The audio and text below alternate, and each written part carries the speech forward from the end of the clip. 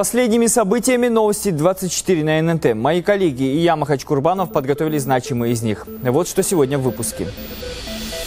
Медведев утвердил новые изменения в ПДД. Меры призваны повысить безопасность и улучшить организацию дорожного движения на перекрестках.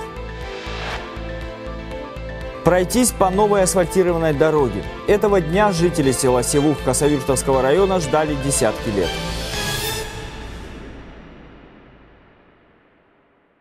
В России изменится очередность проезда автомобилей на перекрестке с круговым движением. Соответствующее постановление правительства подписал премьер-министр Российской Федерации Дмитрий Медведев.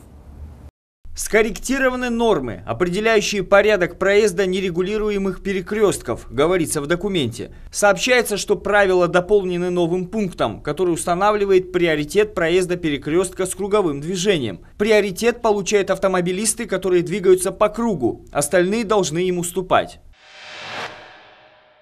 Дуров рассказал о блокировке 8,5 тысяч телеграм-каналов, связанных с терроризмом. По словам основателя мессенджера, такое количество запрещенного контента было обнаружено лишь за октябрь. Об этом он сообщил в своем официальном канале. Безусловно, администраторы Телеграма должны уважать правила мессенджера. Например, пользовательское соглашение запрещает пропаганду насилия в любой форме. Поэтому в октябре мы заблокировали более 8,5 тысяч каналов, связанных с терроризмом, написал он. Ранее суд Мещанского района Москвы оштрафовал Телеграм на 800 тысяч рублей из-за отказа представителей мессенджера предоставить информацию для декодирования переписки пользователей. По мнению Дурова, попытка получить доступ к переписке пользователей – это стремление расширить свое влияние за счет конституционного права граждан. Среднемесячная зарплата врачей в этом году составила 52 900 рублей, сообщил министр здравоохранения Вероника Скворцова на Конгрессе Национальной медицинской палаты. С 2012 года этот показатель увеличился более чем на 48%, подчеркнула Скворцова. По итогам первого полугодия зарплата среднего медперсонала составила более 29 тысяч, младшего около 19 тысяч. По словам Скворцовой, в регионах продолжается работа по повышению заработных плат, в том числе увеличению доли оклада. Министр уточнила, что в стране осталось лишь 5 регионов, где этот показатель остается на низком уровне.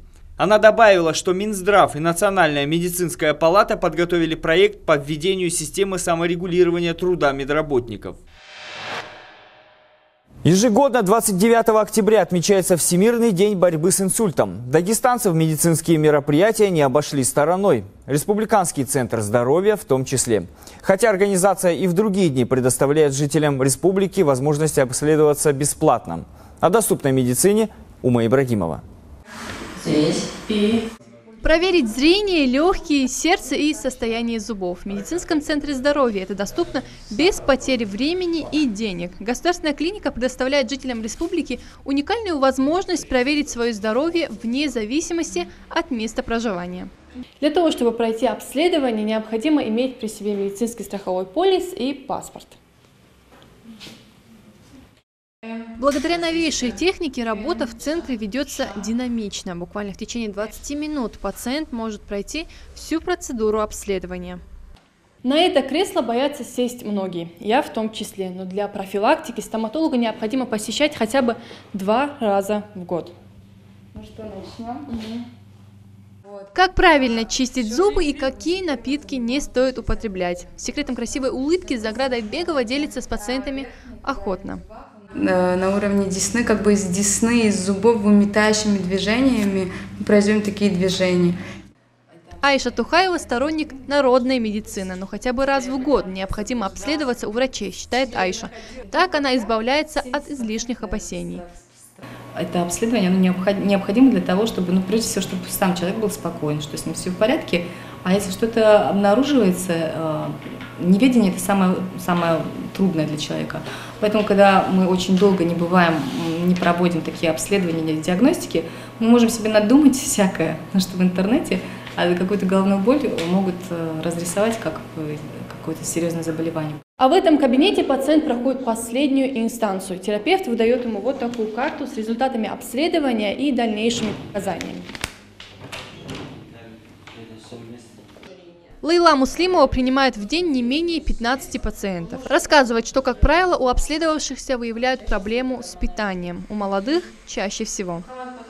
Очень часто у них наблюдаем аритмии. А, Это чаще всего связано с неправильным режимом дня, у них э, недосыпание.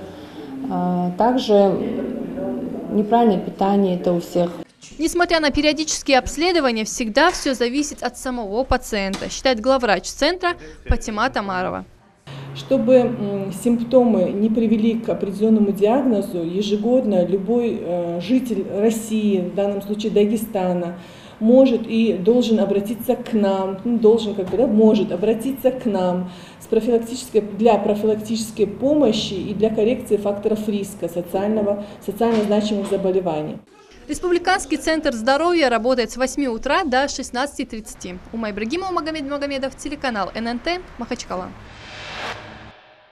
Этого дня они ждали десятки лет. Жители села Сивух Хасавюртовского района прошлись по новой асфальтированной дороге. Теперь добраться до школы, медресе и администрации аула станет гораздо легче и комфортнее. Особенно в дождь и слякоть. Подробнее о проделанной работе расскажет Хамза Нурмагомедов. Люди не верили до последнего, а сегодня радостная весть разлетелась по всему Севуху. Взрослые дети вышли из домов с раннего утра, чтобы пронаблюдать, как специалисты, управляя тяжелой техникой, асфальтируют знакомую им улицу.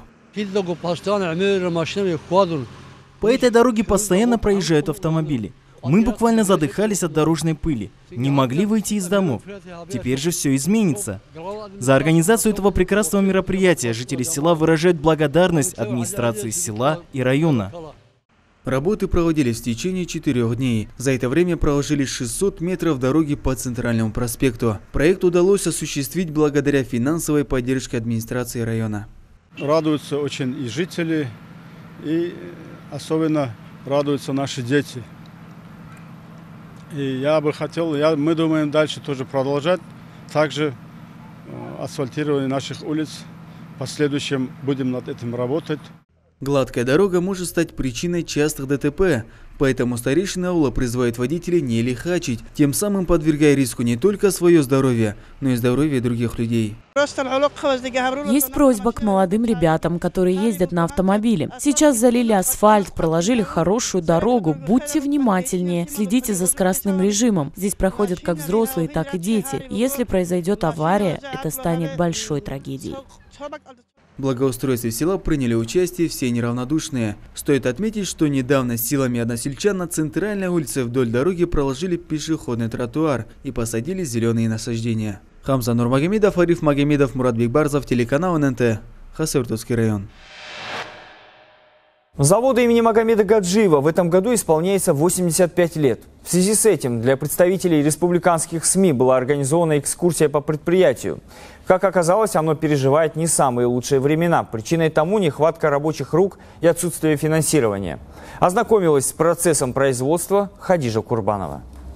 Заводу имени Магомеда Гаджиева 85. Когда-то на этой территории был произведен первый сплав металла. Затем в ход пошло изготовление пластмассы, резины, механосборочное и кузнечно-прессовое производство. Сегодня таких цехов около 10, а завод является основным поставщиком продукции для морских судов в Российской Федерации и странах СНГ. Современные технологии которые позволяют более точные э, литейные заготовки получать. В каком мы сегодня состоянии? Значит, мы в прошлом году, э, в 2015 году, получив землю, и 15-16 год осуществляем строительство нового завода.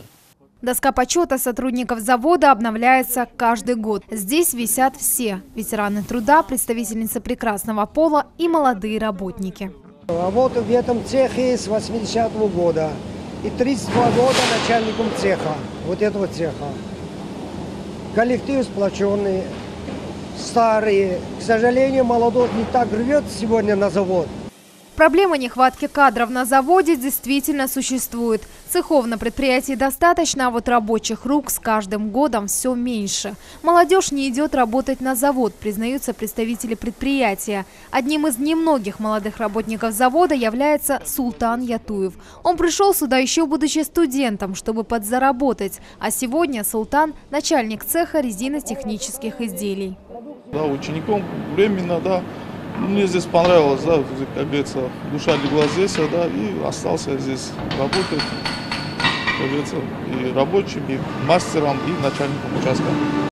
Помимо нехватки кадров, завод испытывает финансовые проблемы. Ни один из банков в республике не идет на кредитное сотрудничество с крупными предприятиями Махачкалы, несмотря на то, что в частности у завода имени Гаджиева есть что предложить в качестве гарантии кредита. Кроме того, почти все заказчики завода – представители других регионов страны. В Дагестане продукция завода не очень востребована. Э, предприятиям Дагестана мы можем поставить э, жилищно-коммунальному хозяйству прекрасные задвижки. Почему-то э, ими никто не интересуется по причине их дороговизны. Мы говорим, ну они дорогие, но они долговечные, они надежные. Но, к сожалению, пока результатов нет. На сегодняшний день завод имени Магомеда Гаджиева готовится к открытию индустриального парка «Уйтаж», куда будет перенесен сначала литейный цех предприятия, а к 2022 году все производственные цеха и участки. Хадижа Курбанова, Джалал Магомедов, телеканал ННТ, Махачкала. Спортивный обозреватель Курбан Рагимов уже подготовил что-то интересное. Курбан, говорят, на одном из турниров по вольной борьбе раздавали ключи от автомобилей. Да, Махач, таким темпом чемпион Европы Даурен Круглиев соберет свой собственный автопарк. Махачкаленец вновь стал лучшим весовой категории до 86 килограммов, где и разыгрывался главный приз соревнования – автомобиль Kia Rio.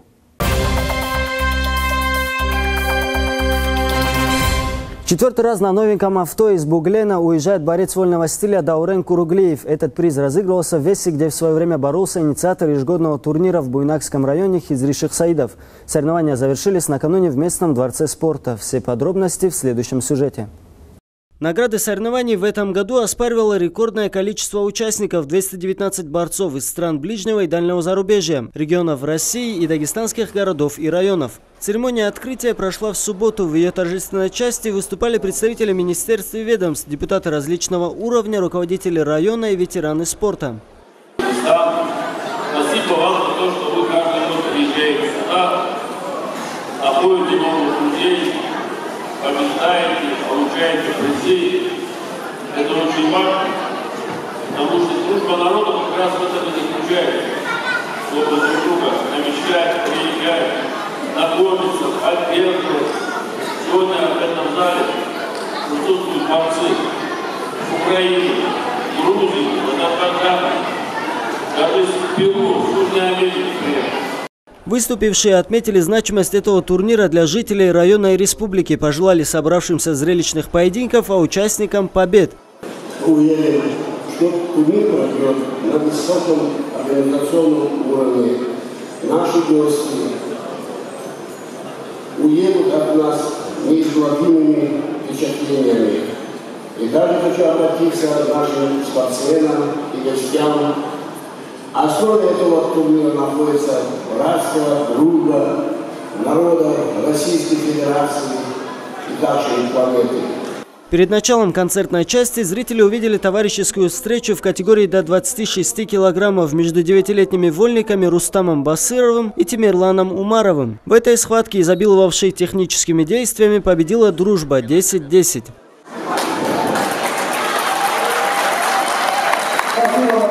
Категории до 86 килограммов лучшим стал махачкаленец Даурен Куруглеев. Он провел 6 успешных встреч, а за победу чемпион уже четвертый год подряд получает главный приз соревнований – ключи от автомобиля. В двух весах золотые медали достались дагестанским легионерам сборной Азербайджана Муртазали Муслимову и тяжеловесу Джамалудину Магомедову. Первый в финале заставил капитулировать своего оппонента, сумев завершить встречу на туше.